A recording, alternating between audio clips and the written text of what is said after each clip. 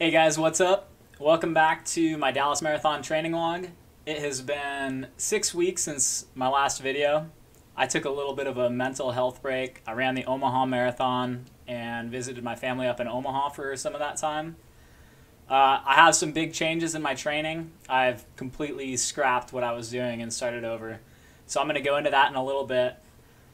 First things first, I was on the 1609 podcast. I think it was episode 9 for them. So you can find them on Stitcher, iTunes. Check that out if you want to.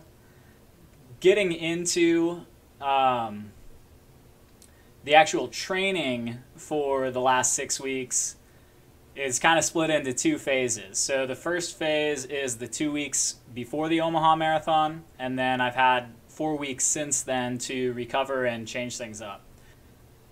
So the first thing I'm going to do is just show some stuff that I recorded while I was there. I went to a Nebraska football game, lost unfortunately, and I had recorded a bunch of pre-race preparation stuff, but I'm just going to scrap all that and I'm going to do that again for the New York City Marathon. New York City is in two weeks, and so next week I'm going to go over all of my race prep for that, you know, goose strategy, pre marathon checklist, pacing strategy, all that fun stuff.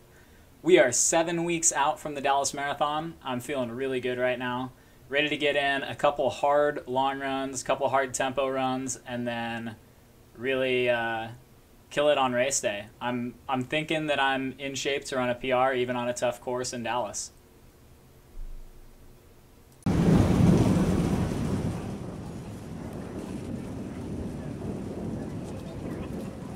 It's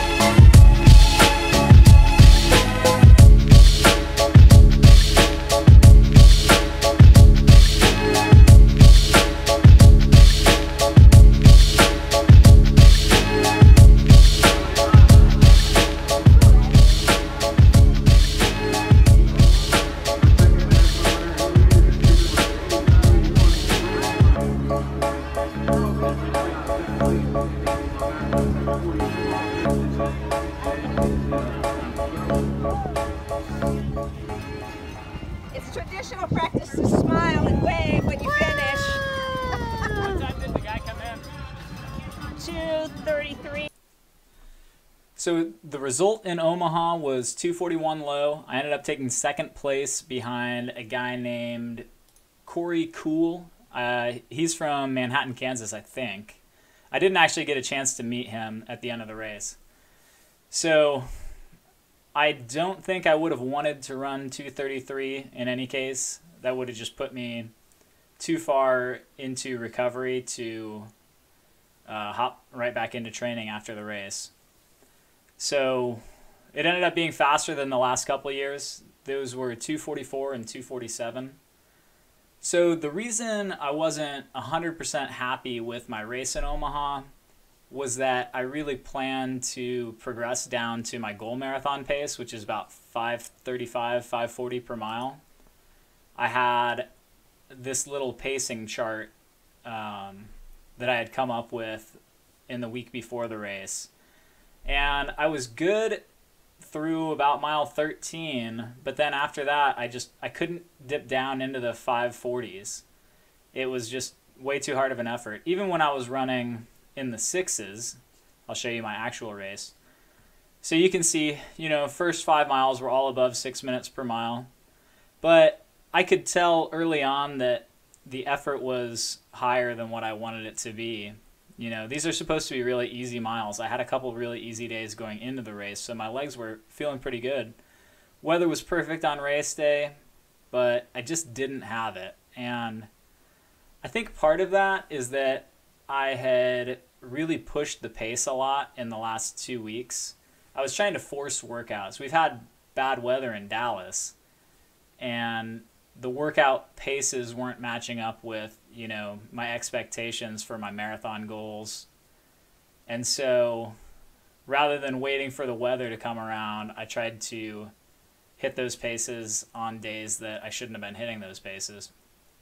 And I was just I think aerobically, I was never recovered in that two week period before the race. For the rest of the race, you can see I got down. I actually did run one mile at 542, but I just knew with 13 miles left to go, this was going to turn into a death march if I didn't slow down. So at that point, I backed off and I just stayed in the low sixes from then on out. I never blew up, but I never had another gear to get into. So where I would have liked to run a 237, 236 maybe, I ended up running 241. But I have another chance to do this right at the New York City Marathon, so we'll see in two weeks if I can do better. So, enough about the Omaha Marathon. Let's get into the training changes. This schedule was stolen from Eliud Kipchoge. Um, I don't feel too bad about switching up in the middle. You know, it's just periodization as always. The workouts that I did uh, with Daniels, all the super long tempo runs at a fast pace, VO2 max at 5K pace, those were all really good for that period of training that I was in. But with less time to go until the race, I think it's totally appropriate to change things up and be more marathon specific.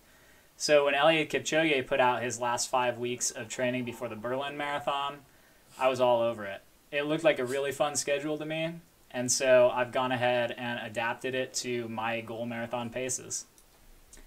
So breaking the schedule down, on Monday every week it's a fartlek. It's either one minute reps or three minute reps, and there's this uh, lactate threshold 4 by 10 minute workout as well. I'm only doing this workout twice. Thursdays, it's a track session. These are long intervals at about 8K pace, maybe 10K pace, depending. Uh, they end up being somewhere between 8 and 10 miles of total volume. So those are really, really good workouts. Those have been my favorite so far. And then on Saturday, these are all hard long runs. I've done these um, usually it's like two miles warm up, two miles cool down, and then the middle 16 miles I'm running right at six minutes per mile, maybe 605. And that's with kind of tough weather and 120 miles per week. So once the weather cools down, uh, I expect that I'll be able to run some of these in the 550s. So the last thing to call out is the New York City Marathon falls right where I would want to do my hardest long run. So I'm going to try and fit that right into my schedule. I am taking a couple days easy before and after just to make sure that everything is good. But I wouldn't be surprised if I'm back into doing an interval workout again that Thursday after New York City.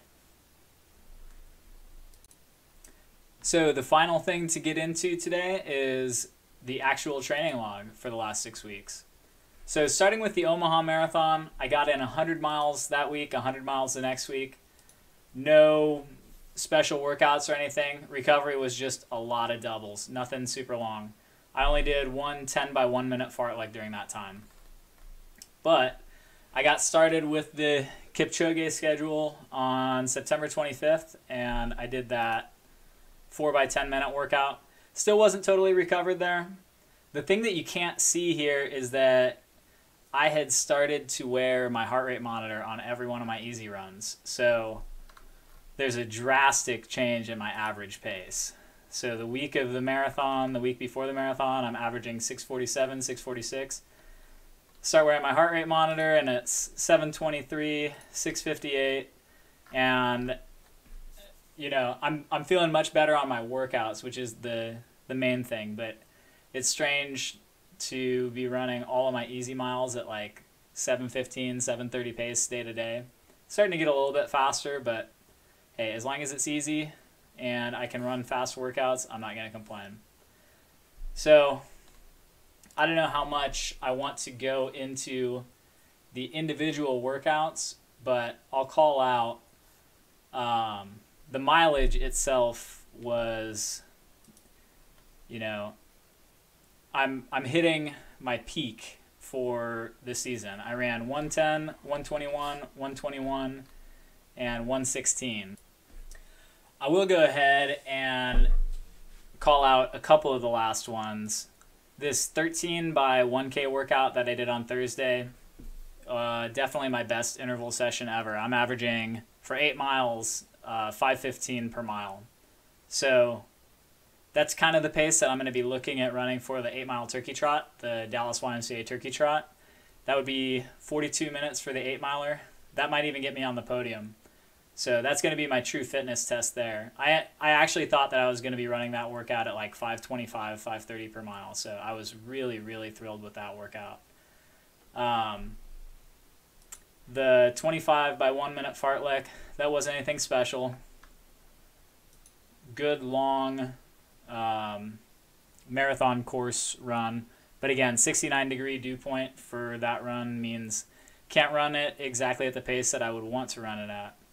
And then finally, I did this uh, 2K, 1K workout last Wednesday night. And this was kind of the first great weather day that we had for the entire fall. So with that workout, it was 2K on, 90 seconds, where you start walking and then you end up jogging by the end of it. And then 1K, do the same, repeat five times. So all in all, 15K of volume, it ended up being right around my half marathon PR. Couldn't have been happier with the pace. So, looking forward to next week. It's the week before the marathon itself. So, I've got it's kind of an easier week. 13 by 3 minute fartlek. I've already done 18 by 3 minutes, so that should be a piece of cake. I'm going to try and run that also around half marathon pace, 530 per mile, give or take. And then I've got a 14 by 800 meter session. Finally, on Saturday, assuming we have good weather, I might keep it to like 18 miles, but I'm going to try and do it at sub 6 pace for the total run. I'm going to try and get out on the Dallas Marathon course again and just, you know, run based on heart rate at what I think marathon effort's going to be like, and hopefully I'm within, you know, 15 seconds of my actual marathon goal pace. So I hope that you've enjoyed this episode. Hopefully, it's not another six weeks before the next one. I'll try and be back on here next week to talk about my race plan for New York City, plan out my nutrition, my pacing, everything that goes into running a marathon. So, see you soon.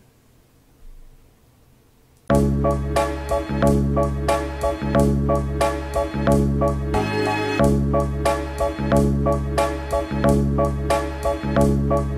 you.